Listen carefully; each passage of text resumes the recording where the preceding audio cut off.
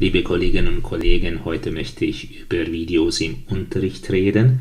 Zuerst möchte ich euch ein E-Buch zeigen mit über 50 Ideen, wie man Videos sinnvoll im Unterricht einsetzen kann.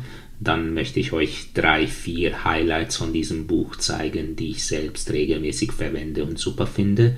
Und am Ende zeige ich euch noch eine Playlist, mit dem ihr unseren Schülerinnen und Schülern beibringen könnt, wie sie Screencastify, den Tool, die wir haben, benutzen können. Fangen wir an. Das Buch, das ich vorher erwähnt habe, heißt 50 Ways to Use Screencastify in the Classroom und es wurde von einer der einigen der besten äh, amerikanischen Lehrer geschrieben, die auch mit Technologie arbeiten. Auf Seite 4 findet ihr die Table of Contacts. Das Buch ist auf Englisch, aber ziemlich gut verständlich. Diese hier sind die Sachen, die ihr in allen Fächern benutzen könnt und dann fachspezifisch haben sie verschiedene Ideen.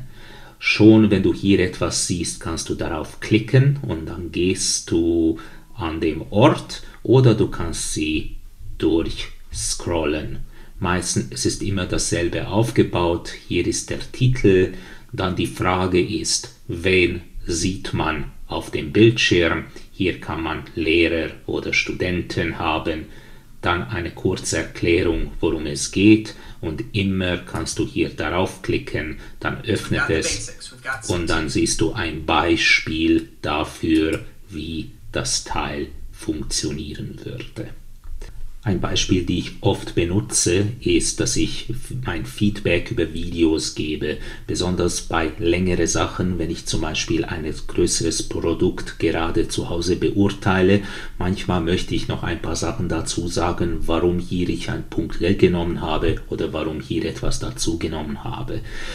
In der 5 Minuten Pause mag ich das nicht. Die Schüler sind müde, ich bin müde und es ist wirklich eine mühsame Sache, noch mit denen zu reden oder mit denen. Dann benutze ich Screencastify. Ich mache ein kleines Video, wo ich erkläre, warum was besser sein kann, was schlechter sein kann. Ich persönlich mag nicht viel zu schreiben und das ist eine gute Möglichkeit für mich, doch gutes Feedback zu geben.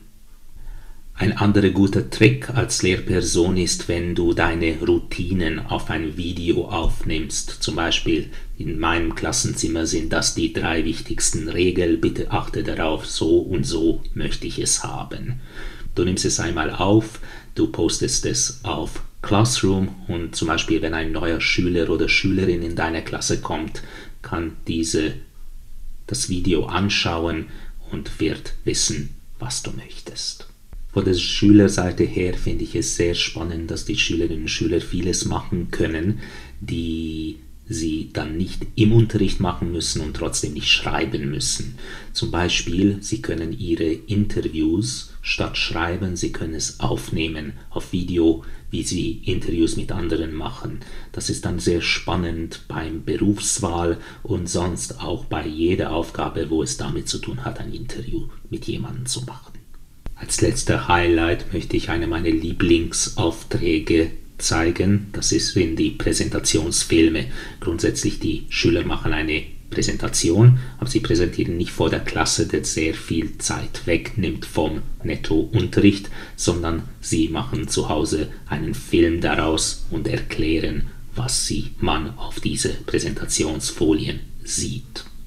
Wenn du Lust hast, mit deinen Schülerinnen und Schülern Screencastify oder die Highlights, die ich vorgestellt habe, oder etwas anderes aus dem Buch auszuprobieren, dann äh, empfehle ich dir meine Playliste, was ich unten auch als Link gegeben habe, anzuklicken. Ich habe hier zwei kurze Filme. Der eine ist die Screencastify-Einrichtung, das können die Schüler selbst durchführen und dann eine fünfminütige Erklärungsfilm, wie man so eine Präsentationsfilm macht.